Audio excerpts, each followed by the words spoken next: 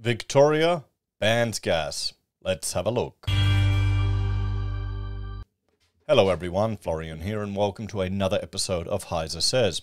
Grab your stein of coffee because Victoria has banned gas, isn't it? Uh, it's not even surprising anymore. Let me frame this up correctly. There we go. So, new Victorian's home, new Victorian homes to go all electric from 2024. Now I know people I mean, who wants this? Gas is a very efficient burning fuel. It's a very effective way to cook. And frankly, I, I prefer cooking on gas than electric. I hate those you know glass induction stoves. You're going to scratch everything. A bit of fire is fine. And if you're worried about the well the the off gas well the byproduct from the combustion of gas, just open a window. This this is just crazy. Victoria has a lot of gas. It's insane to not use it. They'll ship it everywhere, ban exploration, and then then you've got like the unions calling for a super profit tax on all these mines and natural resources and oh it's we can't have anything good, guys. We cannot have anything good. You can't even cook on a gas stove anymore. New Victorian homes will save up to $1,000 off their annual energy bills. Sure, sure, what bullshit. Um, while reducing home emissions, household emissions. Yeah, I doubt that. I seriously doubt that. Okay, how much of the infrastructure is already there in place to allow the gas to be transported, to be used, and now what are you going to do? Replace it with coal, coal burning power? Let, you know what? Let's let's look at let's look at right now where the power from Victoria is being generated as I record this video in the morning. So we'll jump over here. So this is the Australian energy market. It's not in the morning, it's just the afternoon. I should go have lunch. We have a look here in Victoria. Okay.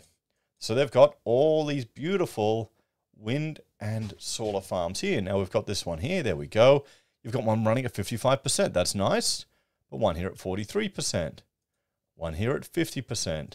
I thought, sorry, 30%. One here at 48%. So these numbers are actually pretty good. They're doing real well. But look what we have here.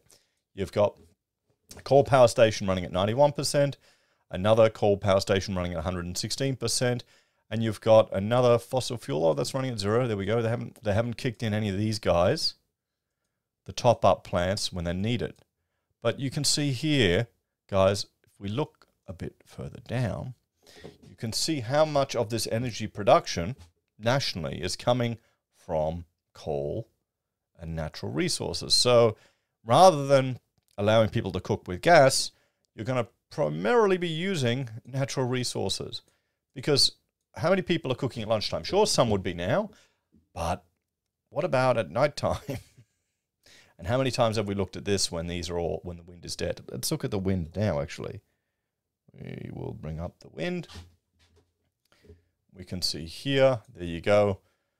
So they're getting some decent 23 knot winds along the coast here of Victoria at the moment. So they're generating some decent power. But notice how none of those wind farms are at 100% capacity. So when you when you see the politicians bragging about how much energy they'll offset and all these benefits, it's often they'll they'll pretend like it's the these things are producing at 100% efficiency, which they never do. There's a certain percentage they need to reach uh, over their lifetime averaged out to offset the embodied carbon and embodied energy in the manufacturing and installation of this infrastructure. I doubt all of them are getting there. But this isn't really about reducing emissions. This is about sending a political statement. At least that's what it feels like. So, across the world, the cost of gas is rising sharply, and so is uncertainty around supply. Well, it wouldn't be there wouldn't be any uncertainty. You got so much in the Bass Strait, but Vic Dan Andrews stopped exploration and then opened it up again. That's the uncertainty. The uncertainty is brought about by the government, by the Victorian government. I guess they're creating the problem and now they're providing the solution. Victorians are at the mercy of private companies exporting gas overseas, which has a real impact on the cost of Victorian homes. So what? So what? Let people, let individuals make that choice themselves if they want to install gas or electricity. Don't just take that choice away from them. but this this is Labor, guys. They this is the the intel the, intelligentsia assuming they know better than the plebeian. That's what it is. That's why the Labor government is doing wor- the work to make energy more affordable for Victorians, getting them the best deal on their home energy bills. What bullshit that is. How expensive has power gotten? Weren't we meant to get a discount from the federal government? This is why you can't trust the spin. It's all just bullshit. From January 2024, planning permits for new homes and residential subdivisions will only connect to all electricity electric networks, with homes taking advantage of more efficient, cheaper, and cleaner electric appliances unless it's powered by coal. If it's powered by coal, it would be better to burn gas. Okay? Just, just think, real. That's not me making up stuff. This is chemistry. These changes will apply to all new homes requiring a planning permit, including new public and social housing delivered by Victorian Homes. Going all electric can deliver at no extra cost to the buyer uh, and will slash around 1000 per year off household energy bills or up to 2200 for households that also have solar installed. Solar, which is subsidized by the Victorian government, which, well, they can't even afford to run the bloody Comm game, so they're not doing that well, are they? All of this this free shit that you're getting, discount and stuff you're getting, it's putting the state into more debt. So you wonder why they put taxes on everything. Commencing immediately, all new public buildings that haven't reached design stage will also be all electric. This includes new schools, hospitals, police stations, and other government owned buildings. Victoria has the highest use of residential gas in Australia, with around 80% of homes connected. Yes, so it's fantastic. I remember growing up in Victoria, we had a gas heater that my father could turn on and use all the time they needed. It was re- it worked really well. Gas stove, cooking. The gas sector contributes about 17% to the state's emissions. And the move to electric systems is a key element in meeting, Victoria, in meeting Victoria's nation leading emissions reduction target of 75 to 80%. I wonder how much of those state emissions from the gas sector are used in manufacturing compared to people cooking at home or hot water systems. These moves build on the 2022 reform that removed the requirement for gas connections for new homes. Since then, Victoria's leading builders and developers have already begun delivering energy bill savings and low emission all electric homes. Yeah, of course, of course they have. They don't need to put the plumbing in for the gas. They save money. I bet your house construction costs haven't gone down, saving all that piping. To ensure homeowners can maximize the benefit of household renewable energy, the government is investing 10 million in a new residential electrification grants program. Grants the Victorian government is in significant debt. Future generations are paying for this.